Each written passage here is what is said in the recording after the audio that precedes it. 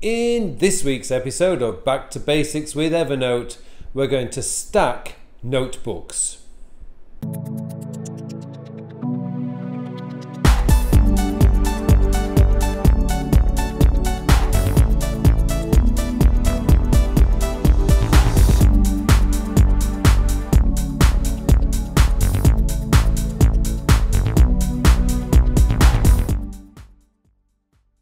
Hello, my name is Carl Pullein, and in this second part of my Back to Basics series with Evernote, I want to show you how you can stack notebooks in Evernote.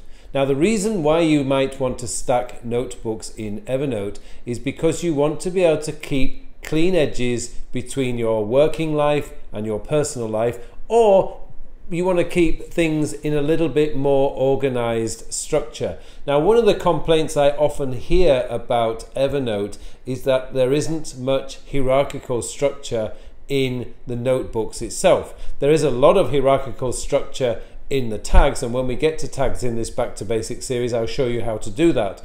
But in notebooks, there is a basic hierarchical structure that you can use. And I'm going to show you that in today's episode because I find notebook stacking really useful. Now, the way I use stacking generally is for my projects, my current projects, the projects that I'm working on at the moment. So, as some of you may already know, I like to, I write books and I also have a few projects, workshop projects that I'm working on for both my work here in Korea and my work in productivity. So what I want, what I like to do is keep these things nicely clean and under a stacking system. So what I want to do is in this second part of Back to Basics is to show you how you can stack these notebooks in Evernote because it really does help to keep the interface nice and clean and nicely organized. Now, before we go into that, what I would like just to ask you guys is this week I've launched, or last week I launched a new free online course on Udemy called the Beginner's Guide to Getting Yourself Organized. What I would really like to do is if you haven't already signed up for this course, please go ahead and sign up because I really want to help you to become more organized and more productive. I should say better organized and more productive.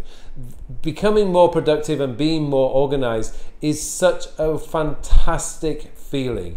You have so little stress you get so much more done and you feel so much better about yourself. And I really want to help as many people as I can to become more organized and better productive. Actually, that's the other way round. Better organized and more productive. I will get it right one day. So please sign up for that course if you haven't. I put the link in there. It's completely free and there is a special offer at the end if you want to take advantage of the special offer. Also, before we move on, please, if you like this video, click on the like button below. And if you haven't subscribed to this channel, please just click on the subscribe button for me. That really helps me. Okay, let's go into Evernote and I'll show you how to stack your notebooks. Right, so here we have the notebooks that we set up last week. We have the inbox, which is set as our default notebook. Then we created a work notebook and a personal notebook. Now, as I mentioned in last week, and I mentioned in the introduction, stacking is something that can really help to maintain a little bit of organization within your notebooks. Now, just before we move into that, what I wanted to show you while we're in this view is we have uh, two buttons up here on the top right hand corner. We have a square button, which is this view, and then we have this view. Now, at this point, with only the, th the three projects and my trash can, this view does not look to be that great. But once you start getting quite a lot of notebooks, if you decide to use notebooks and you have a lot of notebooks in here, then actually this view generally starts to look the better view. But for now, let's stick to this one because this is the most common view I see on other videos around on YouTube.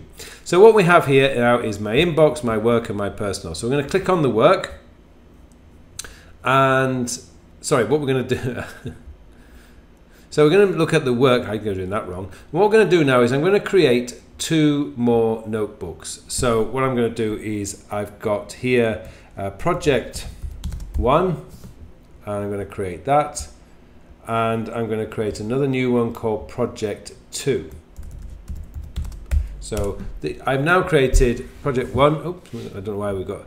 Let me just. By the way, to rename a project, all I'm going to do is hit the control key. It asks me if I want to rename this notebook. It allows me to, and I can get rid of that one. There we go. So now I've got project one and project two.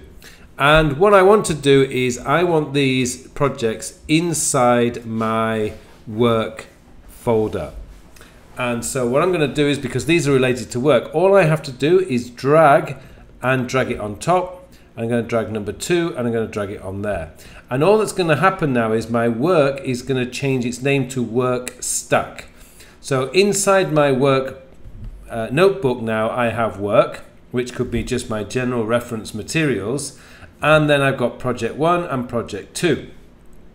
And this is a really good way of keeping all your notebooks nice and simple because one of the things that you could end up doing if you're not careful is you have a load of work projects like say in here these are related to work sitting amongst all your personal projects related to your vacations and stuff like that. Now one of the things that i'm sure you don't want to be reminded of when you're on vacation is you don't want to be reminded of work so you can actually keep these nicely out of the way in a work stack. You don't even have to open it, they're out of the way. And then in your personal one, you can actually create your own vacations and uh, um, bucket list and put all your personal goals and things like that inside your personal notebook. So that's essentially how we stack. So let's just go uh, I'll just show you that one again so that you know. So we create another one, uh, holiday, because I'm British and we don't use the word vacation. Holiday 2017, that's one folder. New notebook, holiday 2018, because of course we've got to start planning that. And what I'm going to do is I'm just going to drag that in to my personal stack.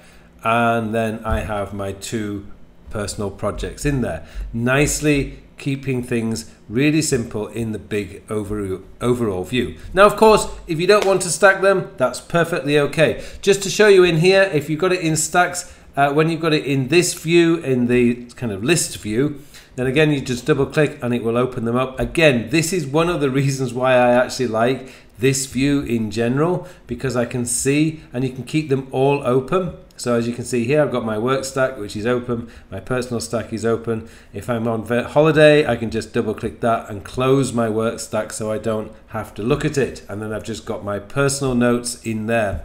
This, as I say, is one of my favorite uh, views in, to, in Evernote.